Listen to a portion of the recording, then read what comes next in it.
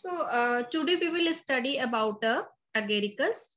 And uh, agaricus is a member of Basidiomycotina and that we know as a mushroom agaricus को जैसे हम mushroom के नाम से जानते हैं और इससे पहले जो मशरूम कल्टीवेशन की क्लासेस थी उसमें भी मैंने आपको इसके बारे में बताया था। पर अभी में हम यहाँ पे इस लेक्चर में अगेरिकस का कैसा इसका सोमैटिक स्ट्रक्चर कैसा होता है फ्रूटिंग बॉडी कैसी होती है इसमें रिप्रोडक्शन कैसे होता है इसके बारे में पढ़ेंगे।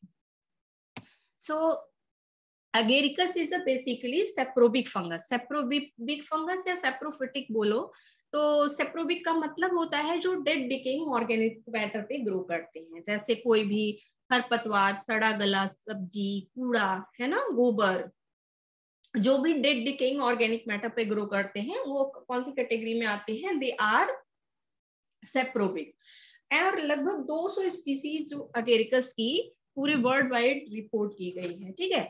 And in this genus there are edible species as well as poisonous कुछ इसके स्पीसीज होते हैं जो कि एडिबल होते हैं खाए जाते हैं और कुछ क्या होते हैं पॉइजनस होते हैं ठीक है? और एडिबल uh, स्पीसीज का सबसे कॉमन एग्ज़ाम्पल है एगेरिकस ब्रूनेसिल्स जिसे एगेरिकस बिस्पोरस भी बोलते हैं और जिसे बटन मशरूम आप कहते हो and Agaricus campestris while Agaricus genthodermus and Agaricus sylvaticus are poisonous toxic mushroom. ये toxic mushroom है, ठीक है genthodermus and sylvaticus. तो ऐसा नहीं है कि सारे मशरूम खाए ही जाते हैं, कुछ मशरूम बहुत टॉक्सिक होते हैं, कुछ अगेरिकस के स्पीसीज डिज़ीज़ कॉजिंग होते हैं तो यहाँ पे हम पूरे होल जीनस के बारे में स्टडी करेंगे कि जीनस एगेरिकस का के स्पीसीज मेंबर्स कैसे होते हैं, उनका थैलस कैसा होता है तो जो इसका सोमैटिक स्ट्रक्चर होता है उसमें दो तरीके के माइसीलियम है primary mycelium and secondary mycelium तो मैंने लास्ट क्लास में भी जब मैं आपको फंगस पढ़ा रही थी इससे पहले आप जब अस्टिलेगो और दूसरे मेंबर्स लाइक रस्ट और स्मर्ट फंजाई पढ़ रहे थे पक्सीनिया पढ़ रहे थे और अस्टिलेगो पढ़ रहे थे तो वहाँ पे आपको प्राइमरी माइसिलियम सेकेंडरी माइसिलियम के बारे में मैंने बताया था। प्राइमरी माइसिलियम मीन्स जो फ़र्स्ट फॉर्म माइसिलियम जो सबसे पहले माइसिलियम बनता है that is a primary mycelium और ये प्राइमरी माइसिलियम किससे बनता है? बेसिडियोस्पोर के जर्मिनेशन से बनता है, ठीक है? तो प्राइमरी माइसिलियम की क्या पहचान है? वो मोनोकैरियोटिक होता है, उसके अंदर सिंगल न्यूक्लियस होता है। क्या होता है? मोनोकैरियोटिक होता है, उसके अंदर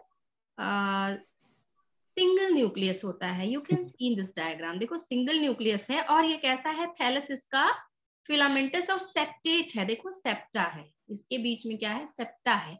और एक इसके सेप्टा की खास बात है बेसिडियो माइकोटिना के कि डॉली पोर सेप्टम होता है। नॉर्मल सेप्टा जैसे अभी हम एस्को माइकोटिना के जब मेंबर पढ़ रहे थे तो उनके जो जो सेप्टम थे, वो बिल्कुल नॉर्मल से सिंपल से थे। बट यहाँ पे कुछ स्पेसिफिक जो है सेप्टम पाया जाता है, जिसे डॉलीपोर सेप्टम कहते हैं। ठीक है? और जब इसमें जब प्राइमरी माइसीलियम दो प्राइमरी माइसीलियम जो अपोजिट स्ट्रेन की, जैसे प्लस स्ट्रेन और माइनस स्ट्रेन मैंने आपको बताया था बेसिडियोस्पोर के फॉर्मेशन में कि जब मियोसिस से बेसिडियोस्पोर बनता है तो डिफरेंट तरीके के बेसिडियोस्पोर बनते हैं। प्लस स्ट्रेन के भी बनते हैं और माइनस स्ट्रेन के बनते हैं। तो ये प्लस और माइनस स्ट्रेन के बेसिडियोस्पोर आपस में फ्यूज करके क्या बना देते हैं? सॉरी प्लस और माइनस स्ट्रेन के जो माइसीलियम होते हैं वो फ्यूज करके क्या बनाते हैं? सेकेंडरी माइसीलियम तो सेकेंडरी माइसीलियम की क्या पहचान है? क्योंकि ये दो माइसीलियम के फ्यूजन से बना होता है तो एक इसकी पहचान है कि ये डाइकैरियोटिक होता है। इसमें जो न्यूक्लियस uh, होता है डाइकैरियोटिक होता है। Means it has two nuclei देखो ये डाइकैरियोटिक माइसीलियम है ठीक है? दो न्यूक्लियस है इसमें ठीक है? तो डाइकैरियोटिक का मतलब होता है कि इसमें दो न्यूक्लियस है और दो न्यूक्लियस अलग अलग रहते हैं बहुत देर तक, डाइकैरियोटिक स्टेट में बहुत देर तक वो फ्यूज नहीं करते, वो बहुत लास्ट में उनमें फ्यूजन होता है, ठीक है? तो primary mycelium is a monokaryotic and secondary mycelium is a dikaryotic अब ये क्या करता है फंगस कि सॉइल के अंदर ग्रो करके एक टर्शीरी माइसिलियम भी बनाता है। क्या बनाता है? टर्शीरी माइसीलियम फिर वो टर्शियरी माइसिलियम धीरे धीरे सॉइल के ऊपर आता है, बिल्कुल पिन की तरह। सॉइल के ऊपर कैसे ग्रो करता है?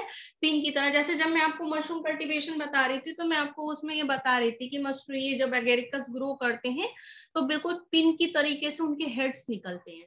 तो पहले तो वो सॉइल के अंदर टर्शीरी माइसिलियम बनाते हैं और फिर उनसे छोटे छोटे पिंस निकलने निकलने लगते हैं, जो कि क्या बनाते हैं? फ्रूटिंग बॉडी तो इसी को फ्रक्टिफिकेशन कहते हैं means fruiting body formation fructification means formation of fruiting body तो आप यहाँ डायग्राम में देख सकते हो कि उसकी फ्रूटिंग बॉडी कैसे दिखती है। उसके पास एक नीचे स्टॉक होता है, जिसे स्टिप कहते हैं, और ऊपर जो है कैप लाइक छतरी जैसा अम्ब्रेला सेप स्ट्रक्चर होता है, जिसे हम क्या बोलते हैं? पीलियस बोलते हैं। और इनके बीच में जो पीलियस और स्टॉक के बीच का जो पोर्शन है, जो ज्वाइनिंग है जॉइंट है that joint is called velum और यहाँ पे आपको ये जो रे जैसे स्ट्रक्चर दिख रहे हैं छोटे छोटे लाइनिंग ये सारे दिख रही हैं रेज ये गिल्स होती हैं। तो ये गिल्स डिफरेंट साइज़ की होती है। कुछ गिल्स लार्ज होती हैं, कुछ मीडियम साइज़ की होती है, कुछ स्मॉल होती है। आपको डायग्राम में दिख रहा होगा, जैसे ये लार्ज है, ये मीडियम साइज़ की और कहीं कहीं पे एकदम छोटे गिल्स है। तो ये तो इसकी फ्लोटिंग बॉडी हो गई, इसका सोमेटिक स्ट्रक्चर हो गया और इसका फ्रूटिंग बॉडी हो गया। नाउ रिप्रोडक्शन अब इसमें रिप्रोडक्शन के क्या तरीके हैं? Asexual reproduction and sexual reproduction sexual reproduction chlamydospore से होता है और आइडिया से। और क्लेमाइडोस्पोर आपको पता है कैसे बनता है? छोटे छोटे thick walled food laden body बनती है, जिससे क्या बोलते हैं? क्लेमाइडोस्पोर ये क्लेमाइडोस्पोर जर्मिनेट करके नेक्स्ट जनरेशन बनाएगा and what is oidia oidia में फिलामेंट से छोटे छोटे फ्रेगमेंट्स निकलते हैं small pieces that is known as a oidia and that idea germinate to give rise to new body. And uh, next sexual reproduction. इसमें sexual reproduction क्या होता है? यहाँ पे सेक्स ऑर्गन का फॉर्मेशन ही नहीं होता है। क्या होता है? सेक्स ऑर्गन का फॉर्मेशन नहीं होता। और यहाँ पे क्या होता है? Somatogamy somato means somatic cells and gamy means fusion दो सोमैटिक सेल ही आपस में फ्यूज करते हैं. दैट इज़ कॉल्ड सोमैटो गेमी ठीक है? तो सेक्सुअल रिप्रोडक्शन में क्या स्टेज होते हैं? एक होता है plasmogamy plasmogamy means fusion of protoplasm karyogamy means fusion of nucleus and then meiosis and then development of basidiocarp तो आप यहाँ देखिए सोमेटोगेमी हो रही है। Somatogamy means fusion of two hyphae तो ये देखो दो मोनोकैरियोटिक हाइफी है। एक प्लस स्ट्रेन की हाइफी है और दूसरी माइनस स्ट्रेन की हाइफ है। तो देखो, ये एक दूसरे के पास आ रहे हैं और यहाँ पे एक स्ट्रक्चर का फॉर्मेशन होता है, जिसे बोलते हैं क्रोजियर फॉर्मेशन क्या बोलते हैं? क्रोजियर कभी कभी एग्ज़ाम में पूछते हैं कि क्रोजियर फॉर्मेशन कहाँ होता है? तो आप बता सकते हो कि अगेरिकस में होता है। तो आप यहाँ पे ये देखिए, ये यहाँ पे ये दो जो सेल हैं, देखो ये, टिप यहाँ की इनकी बॉल डिजोल्व हो गई है और ये देखो दो न्यूक्लियाई एक सेल में आ गए हैं। दिख रहा है ना? दोनों की न्यूक्लियाई एक सेल में आ गई है ए और बी ये अपोजिट स्ट्रेन के हैं। देखो, अब ये स्ट्रक्चर कैसे बन गया ऊपर? और फिर अब यहाँ से देखो, अब ऐसे बर्ड लाइक स्ट्रक्चर दिख रहा है और ये ये जो न्यूक्लियाई है, ये एक से दो में बट रही है। देख रहे हो यहाँ पे? देखो, पहले, अब ये जो ब्लैक है, ये देखो ब्लैक के दो सेल बन गए और ये जो जो हॉलो स्ट्रक्चर है हॉलो सर्कल है, इससे भी दो बन गए। फिर देखो, फिर अब ये काम फिर से रिपीट होगा। फिर देखो, फिर उससे दो बनेगा और दो बनेगा। तो इसी तरीके से डाइकैरियोटिक हाइफा का फॉर्मेशन हो जाता है। इसे बोलते हैं क्रोजियर फॉर्मेशन मीन्स ये दो न्यूक्लियाई है, ये आपस में डिवाइड हो हो करके और बीच बीच में सट्टा बनता रहता है इसी तरीके से। हम देख रहे हो, ये प्रोसेस चलता है और फिर पूरा जो है फ्यूज हो जाता है सोमेटोगेमी से और वो सेल क्या हो जाती है? डाइकैरियोटिक हो जाती है। और इसके बाद बेसिडियो कार्ड का डेवलपमेंट कैसे होता है? बेसिडियो कार्ड जिसे हम फ्रूटिंग बॉडी बोलते हैं या स्पोरोफोर बोलते हैं, उसका डेवलपमेंट कैसे होता है? तो सबसे पहले ये सॉइल के ऊपर से ये बटन शेप स्ट्रक्चर निकलता है। ये आप देख रहे हो, ये सॉइल ये माइसीलियम है सॉइल में और उससे ये स्ट्रक्चर निकल रहा है, ठीक है? अब ये स्ट्रक्चर निकल रहा है और ये देखो नीचे की ओर ये स्टिप बना रहा है और ये ऊपर की ओर अब जा रहा है अम्ब्रेला सेप्ड स्ट्रक्चर बन रहा है। देखो ये धीरे धीरे बन रहा है। प्री लैमलर चैम्बर है ना? और ये देखो ये पीलियस जो ऊपर अम्ब्रेला सिफ्ट स्ट्रक्चर है, ऐसे बन रहा है और फिर ये ऐसे बनते बनते ये इस तरीके से कर्व हो रहा है। ठीक है, और आगे चल के इसके ऊपर बिल्कुल अम्ब्रेला सिफ्ट स्ट्रक्चर बन जाएगा, ठीक है? तो ये नीचे स्टिप है, ये विलम है, और गिल्स है, ये पाइलियस है। तो ये धीरे धीरे स्ट्रक्चर बड़ा होता है, ये लॉन्गेट करता है, और इसके ऊपर अम्ब्रेला सिफ्ट स्ट्रक्चर ऐसे बन जाता है। अब this is anatomy of basidiocarp जैसे अगर फ्रूटिंग बॉडी को हम ट्रांसवर्स सेक्शन जो पीलियस है, जो इसका ये सॉरी जो ये अपर पोर्शन है, जो पीलियस है, इसका अम्ब्रेला सेप स्ट्रक्चर है, अगर हम उसका ट्रांसफ़र सेक्शन कट करेंगे ट्रांसफ़र सेक्शन का मतलब होता है हॉरिजॉन्टल सेक्शन ठीक है? और लॉन्गिट्यूडनल मीन्स वर्टिकल तो उसका सेक्शन कट करेंगे तो हमें क्या में दिखेगा उसमें? गिल चैम्बर्स है ना? जो हम गिल की बात कर रहे हैं, वो गिल चैम्बर्स दिखेंगे और सेंटर में ये स्टिप दिखेगा, ठीक है? और अगर हम जो है गिल गिल को देखें तो हर गिल के अंदर कैसे सेल्स होते हैं? दो तरीके के सेल होते हैं। पेरिफेरल टाइटली पैक्ड सेल्स होते हैं और सेंट्रल में लूजली पैक्ड सेल तो जो टाइटली पैक्ड सेल होते हैं पेरिफेरल उनको कॉटेक्स बोलते हैं। और सेंट्रल सेल को हम क्या बोलते हैं? वी कॉल इट मेडुला ठीक है?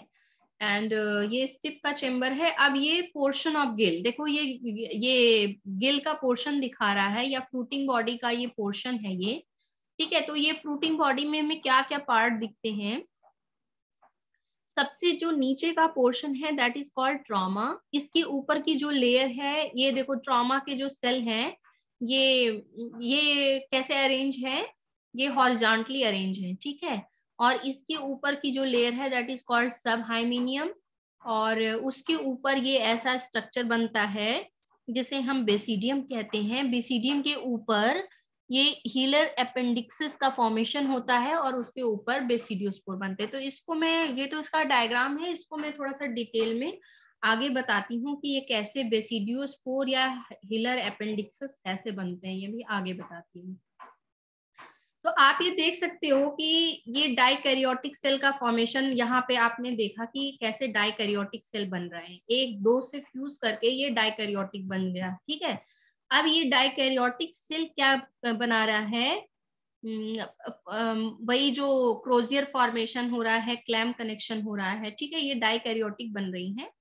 और ये जो यहाँ पे डिप्लॉयड सेल है इसमें अब म्योसिस हो जाएगी ठीक है?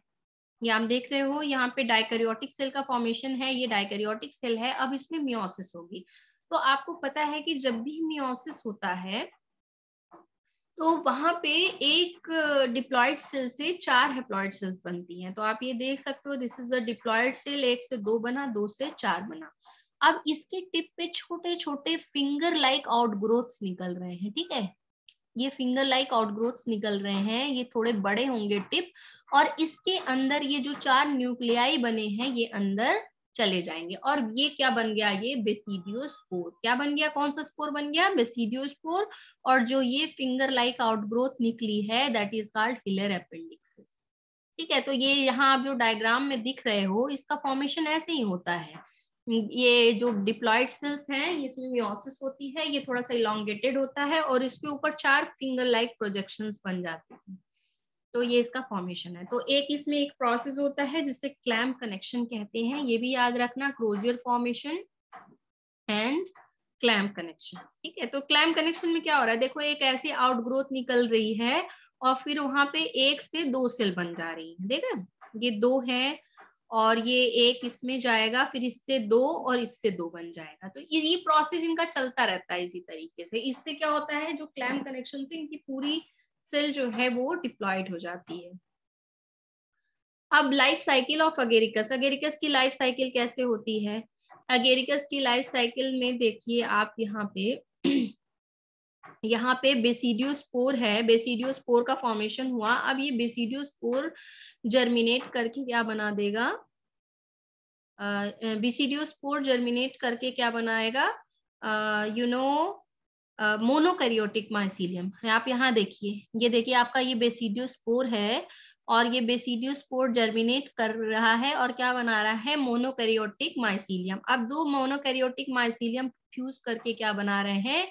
डाइकैरियोटिक माइसिलियम तो प्लाज्मोगेमी क्या है? जो ये दो दो सेल आपस में फ्यूज कर रहे हैं, ये इनका प्लाज्मोगेमी है। अब इसके बाद कैरियोगेमी हो रही है जब इनका न्यूक्लियस फ्यूज कर रहा है। देखो, ये डाइकैरियोटिक हाइफी का फॉर्मेशन हो गया और अब इनमें क्लैम्प कनेक्शन हो रहा है और पूरी सेल ही इनकी डाइकैरियोटिक हो जाएगी। अब ये डाइकैरियोटिक माइसीलियम से अब पिन हेड छोटा सा बटन शेड मशरूम निकल रहा है। अब ये इनके बेसिडियो कार्प का ग्रोथ हो रहा है। देखो, ये बेसिडियो कार्प का ग्रोथ होता हुआ दिख रहा है और ये पूरी बेसिडियो कार्प बन जाएगी और ये आपके बेसिडियो कार्प का स्ट्रक्चर है। इसमें हिलर अपेंडिक्सिस, बेसिडियम और बेसिडियोस्पोर का फॉर्मेशन होगा। और फिर इसके बाद ये बेसिडियोस्पोर फिर से जर्मिनेट करके क्या बना देगा? Protein body. तो ये इसकी लाइफ साइकिल हो गई अगेरिकस की। तो आपको ये बेटा क्लियर हुआ? कोई कंफ्यूजन है इसमें?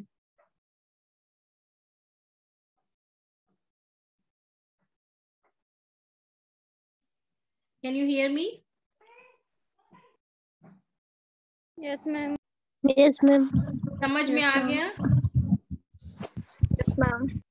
Yes, ma'am. कोई कंफ्यूजन तो नहीं है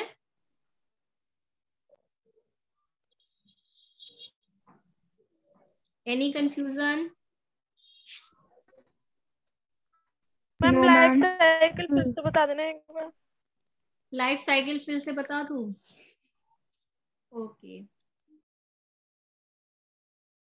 देखो, अब इसको बिल्कुल सिंपल वे में समझने की कोशिश करो कि बेसिडियोस को, जो एगेरिकस है, उसका माइसीलियम उसमें कैसा होता है? उसमें देखो दो तरीके के माइसीलियम एक है प्राइमरी माइसीलियम एक है सेकेंडरी माइसीलियम और टर्शीरी माइसीलियम भी बनता है। वो सॉइल के अंदर जो माइसीलियम ग्रो करता है, उसको टर्शीरी माइसीलियम ठीक है? तो सबसे पहले जो माइसीलियम बनता है, वो प्राइमरी माइसीलियम होता है और मोनोकैरियोटिस उसमें सिंगल न्यूक्लियस होता है। और वो प्राइमरी माइसीलियम का फॉर्मेशन किससे होता है? बेसिडियोस्पोर के जर्मिनेशन से। किससे होता है? बेसिडियोस्पोर के जर्मिनेशन से। और वो बेसिडियोस्पोर कहाँ बनते हैं? बेसिडियम में बनते हैं। And what is this basidium और ये बेसिडियम कहाँ बनता है? ये बेसिडियम बेसिडियो कार्प में बनता है। बेसिडियोस्पोर कहाँ बनता है?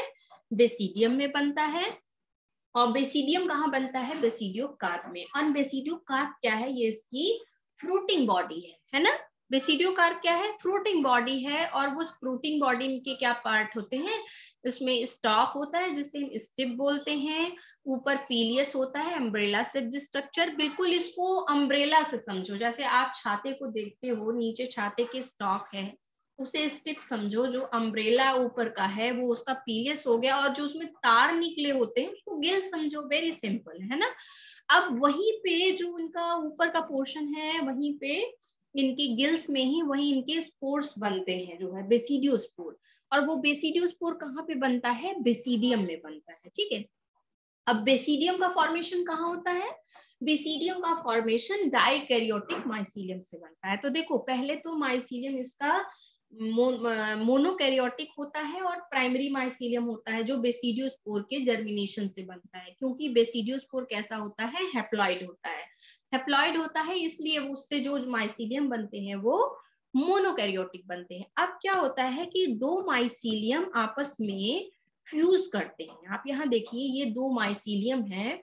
और अपोजिट स्ट्रेन के हैं, एक प्लस स्ट्रेन का है, ये माइनस स्ट्रेन के हैं, ये फ्यूज कर रहे हैं और यहाँ पे इनमें ये देखिए, फ्यूज किए, देखो, फ्यूज करेंगे तो एक इसका न्यूक्लियाई और एक इसका न्यूक्लियाई, देखिए, एक सेल में आ गया ना, अब ये एक सेल में आ गया, यहाँ पे इसके नीचे सेप्टा बन गया, इसको अलग से देखिए, अब यहाँ पे ऐसे बर्ड लाइक स्ट्रक्चर निकल रहा है, ठीक है, एक से दो न्यूक्लियस इसमें, एक से दो न्यूक्लियस इसमें, ठीक है देख रहे हो, इसकी डबलिंग हो जाएगी यहाँ पे, देखो, दो इसके बन गए और दो इसके बन गए। अब फिर इसी तरीके से फिर और बनेगा। फिर इसके दो दो दो करके पूरा जो माइसीलियम हो जाएगा, वो डाइकैरियोटिक हो जाएँगे। दो दो न्यूक्लियस बन जाएँगे। यही इसका क्लैम्प कनेक्शन होता है और ये जो स्ट्रक्चर है, इसे क्रोजियर कह रहे हैं।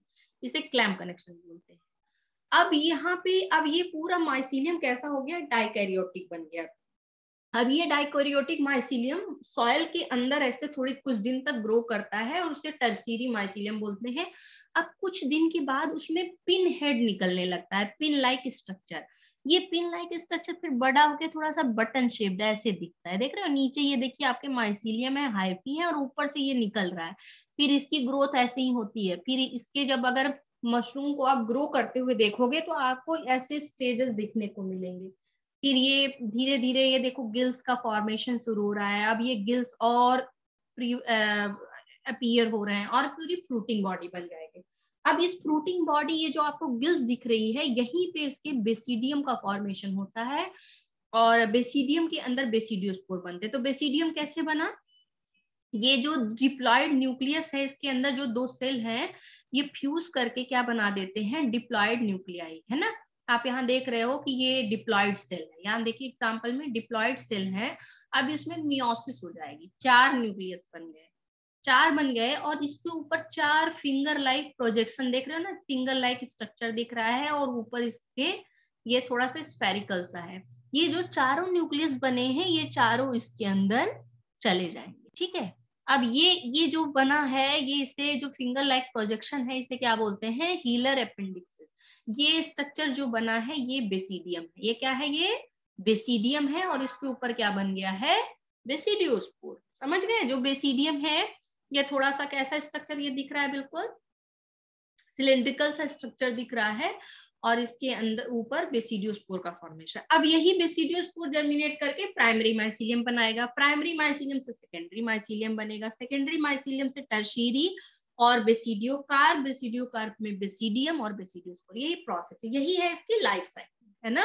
जैसे बीज से प्लांट और फल फल के अंदर बीज, वही प्रोसेस वही प्रोसेस चलती रहती है। This is called life cycle तो ये है इसकी, यही चीज़ आपको ये पूरे डायग्राम में जो मैंने अलग अलग बताया, ये आपको एक साथ होती हुई दिखाई दे ठीक है?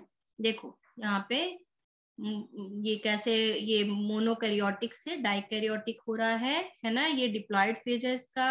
अब यहाँ हेप्लॉयड फ़ेज़ शुरू हो गया मोनो डाइकैरियोटिक फिर ये बेसिडियो कार्प का फॉर्मेशन फिर समझ आया बेटा? Yes ma'am thank you